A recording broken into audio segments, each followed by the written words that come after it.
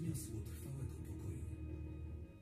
A rywalizacja powstałych po 1945 roku dwóch bloków demokratycznego zachodu i zależnego od ZSRR obozu krajów socjalistycznych przerodziła się w trwającą przez dziesięciolecia zimną wojnę, apokalipsa, wojnę 1945-1991.